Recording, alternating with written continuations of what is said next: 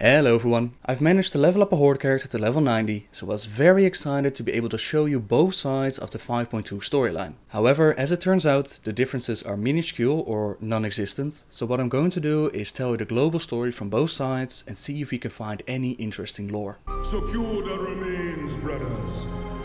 By Zandalari hands, he has been taken.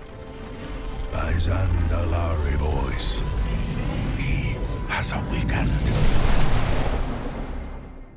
The Zandalari have resurrected the Thunder King, and together they've reclaimed the Isle of Thunder. Jaina and Lor'themar both lead the siege on the Isle, and they've recruited heroes of the Alliance and the Horde to help them. They still hate each other over the events at Dalaran, and both warn you that although we're fighting against the Thunder King, we still need to keep an eye on our enemies. The Horde will find no purchase on these shores, and when the Thunder King lies beaten, the Pandaren will see that it was Alliance heroes who stood by them in their hour of need. Enough talk. You know how precarious our position is.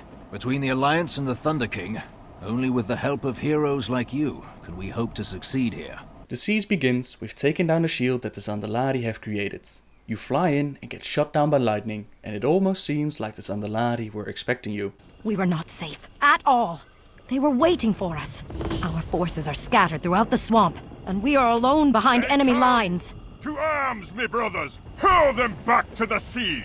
You fight your way through some barricades, a mini-boss, and after that you take out the one that is holding up the shield. This allows the troops to come on land, and you're ready for the next stage. The shield!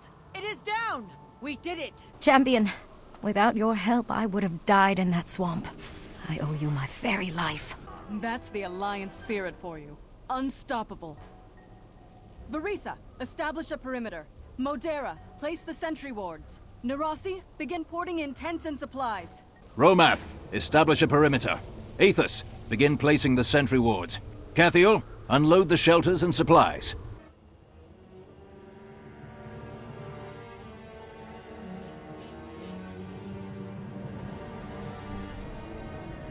The unworthy have not yet learned of my power. Wargod Al-Chukla, add my strength to yours.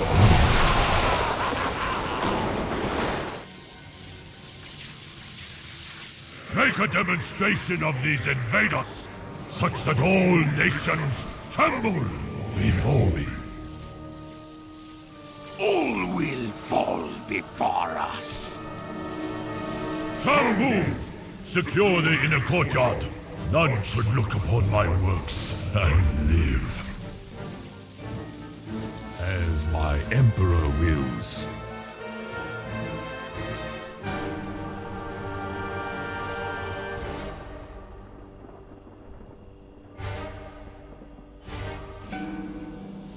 Lei Shen grants some of his powers to War God Al-Chukla and orders him to stop you. You, together with your faction, plant some explosives and you blow up a wall in order to create a pathway to the Throne of Thunder. Al-Chukla tries to stop you, but he is no match for your power. The charges are placed. Hero, you may have the honor.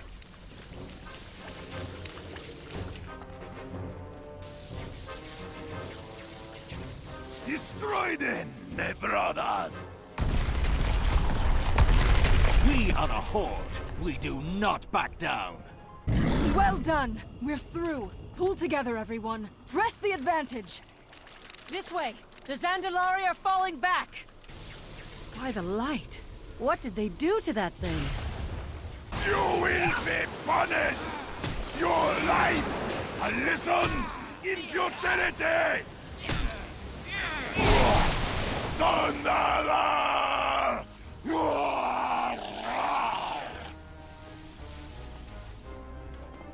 Bar the gates! The Zandalari have failed to hold the wall. Rangers, to me! We have broken their lines. My Lord Regent, you should not be so close to the front lines. Nonsense. This is where I belong. Champion, again you are at the forefront of a Horde triumph. And once more, I am in your debt. Regroup behind the wards, everyone. They will counterattack, but we will be ready. It's dead! You're an inspiration to the Kirin Tor. Vereesa, are you hurt? Yes? It is nothing. I am fine. You need to get back to camp. I can't lose you. Gather up the wounded. We've struck a mighty blow today. The next part of our campaign begins. You found a dinosaur on the island called a Thunderwing, which is immune to the lightning strikes to protect the island. You use it to fly to the Thunder King's armory. On your way you're attacked by trolls in the air, but one by one they fall for your might. You, together with Taoshi from the Shado-Pan, assault the mines and clear the way for the rest of your troops. Well now, you sure know how to arrive in style. Good to see you. Stay light on your feet. Let's get down to business. I've trained my entire life for this. We are almost to the gate. There, the slave master. Hold his attention while I undo the lock.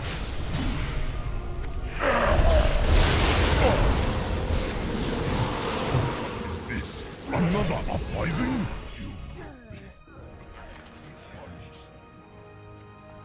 It! The gates are undone! Rangers, secure the forge! Smash the gate so it cannot be closed! Lady Proudmoore, it is safe for you to enter. You two did it! I knew the Shado-Pan would make excellent allies. We share a common enemy, Regent Lord. Nothing more. Regardless, we have delivered a terrible blow to the Thunder King today.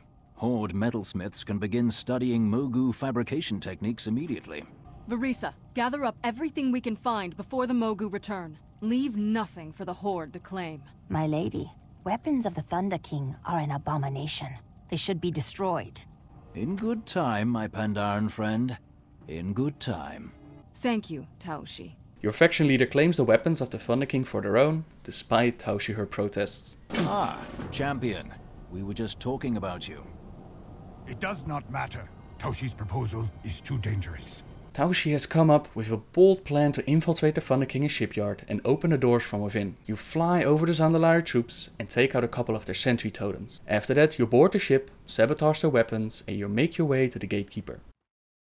Sounds like they found our little present. Enough hiding, little ones. There is no escape now. The only way out is through me. Through you, is it? I think we can manage that. Would you prefer we go through the belly or the ribcage? Strike me to strike His Majesty. He will not suffer this insult. Well fought. Now, the gates, before the Thunder King's entire army comes down on us.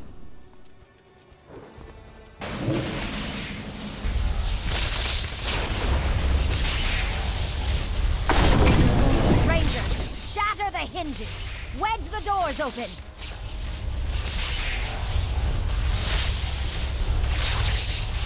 Your plan worked.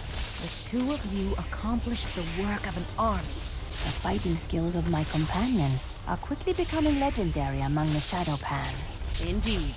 We must get you two back to safety. Thanks to you, the Thunder King is now completely under siege. It is time to kick down the Thunder King's front door. Shan Bu, a servant of the Thunder King, is trying to resurrect an old storm dragon named Nalak. You, together with your faction, make your way to the courtyard with the intentions of stopping Shan Bu. However, your enemy of the Alliance or the Horde are doing the same, but your leader tells you to focus on the Zandalari and ignore the enemy for now. One Ignore the problem at a time, Focus people. on the Zandalari Focus on the guarding the door. Zandalari. Regent Lord, more Zandalari approach from the mines! Damn their hides! Rangers, hold this position! Taoshi, get those doors open! Champion, with me! We must press forward while your comrades cover the rear. More Zandalari are making their way to the courtyard, and you are told to join Taran Zhu as your faction holds them off. You try to stop Shan Bu, but Zandalari trolls stand in your way, allowing Shan Bu to finish his ritual, and Nalak the Stormlord is reborn. am born of thunder. You battle against Shan Bu, as Nalak shoots lightning from the sky, and you manage to finish him off, but not before Taran Zhu receives some serious injuries. I tire of your insolence. I will choke the life from you, impudent slave. Finish him!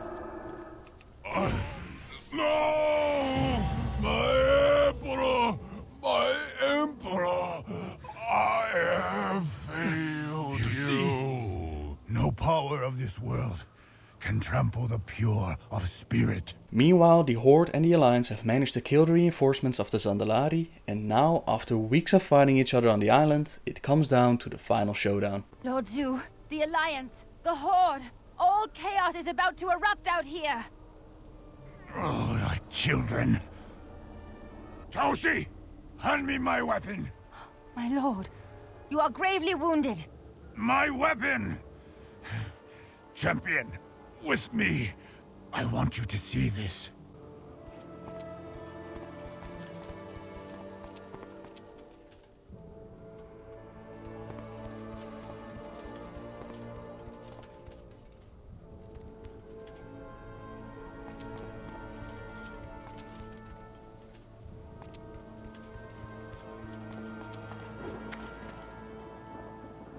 Hand over the Archmage, and I may yet allow you to walk out of here, Lor'themar. Proudmoore, you will release my people from the Violet Hold, or I will cut you down myself! Your people are legitimate prisoners of war. They orchestrated an attack on Darnassus, from my city! The Sunreavers knew nothing of Garrosh's raid on Darnassus. Enough!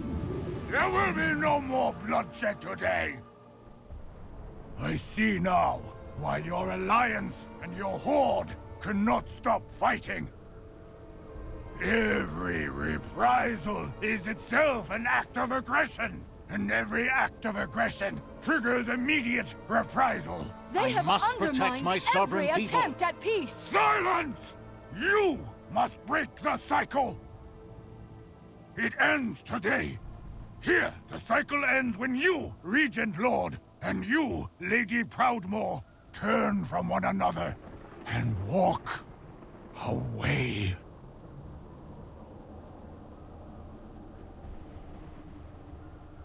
Rangers, lower your weapons. My lord! Very well. We will stand down. They killed my husband. This won't bring him back. But know this, Blood Elf. There can be no peace while Hellscream is War Chief of the Horde. That is precisely why I wish to conserve our strength today.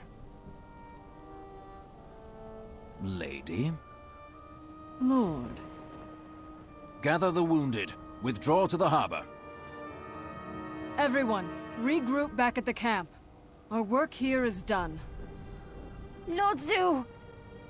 Champion, this ceasefire may not last, but remember what you have seen today.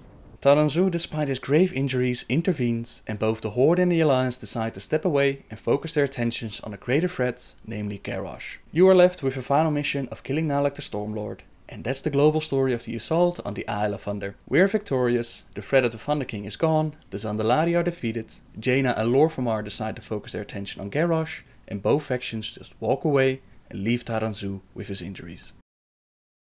This next part will be a little bit of speculation and personal opinion, so don't take anything I say as set in stone. Although the global story is the same, you do end up with a different weapon. Jaina wants you to power up her staff of Antonidas, and she tells you that this will be used to crash down the walls of Orgrimmar. Lor'themar wants you to get the blood of the Dark Animus in order to study it and use it for his own constructs. You might think that one got a better deal than the other, but in the end I personally don't think it will really matter. We'll probably see these weapons used once at the siege of Orgrimmar, and after that you'll never hear from them again, much like the focusing iris that Jaina has in her possession. During the standoff between the Horde and the Alliance, the following happens. Your people are legitimate prisoners of war. They orchestrated an attack on Darnassus, from my city. The Sunreavers knew nothing of Garrosh's raid on Darnassus. Aethas Sunreaver shifts uncomfortably. I took this as Aethas knowing more than he told Lor'themar and assumed that the Horde must have seen something that we as an alliance didn't. As it turns out the Horde didn't get any additional information, so it's anyone's guess what this shifting actually means. Some say that Aethas knew exactly what was going on, while others believe that he was uncomfortable being reminded of the events at Dalaran. Either way, I think there's more to Aethas than meets the eye, and I can't wait to find out. So there you have it, the story of the siege on the Isle of Thunder. Thank you very much for watching, I hope you enjoyed the video. I'll also upload a couple of videos that show the complete playthrough from both the Horde and the Alliance side. And I also have a video up that tells about the story of the upcoming patch 5.3. Subscribe if you like my videos, and until next time guys, see ya!